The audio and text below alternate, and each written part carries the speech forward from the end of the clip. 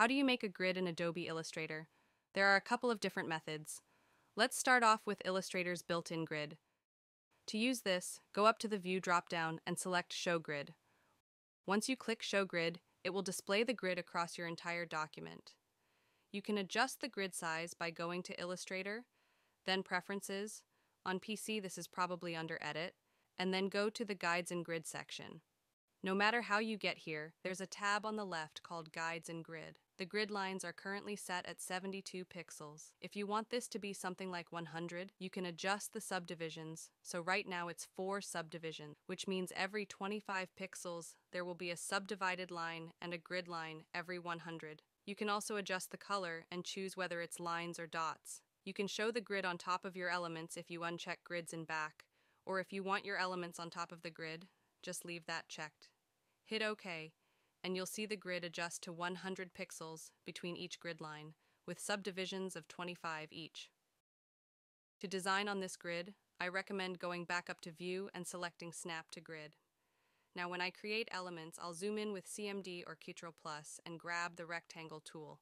If I create an element and start it in the middle of a grid line, it allows me to create this shape by locking it into the grid because we've snapped it to the grid.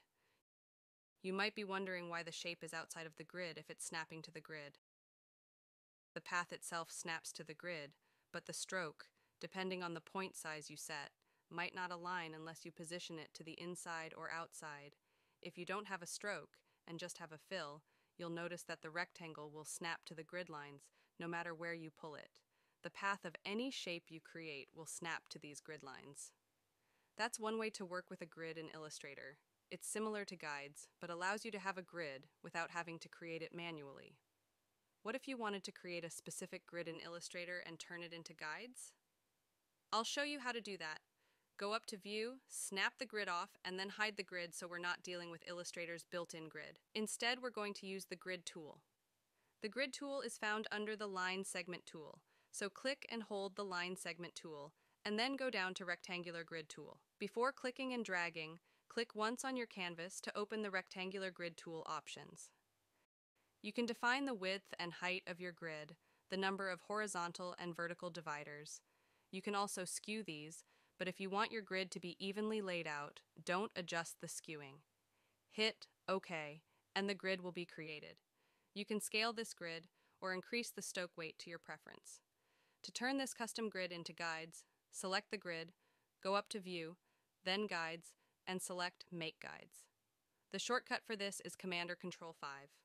This converts the grid into guides, which you can move around while retaining the guide properties. When you lock guides in your document, these will lock, allowing you to line up objects. If you want grid lines as guides without using Illustrator's document grid, you can create a custom grid and convert it to guides. So there you have it. Those are multiple ways to create a grid in Illustrator. Download our free ebook, Mastering Logo Grids in Adobe Illustrator. The link is in the description. Don't forget to like, share, and subscribe for more logo design grid tutorials. Let me know if you have any questions below.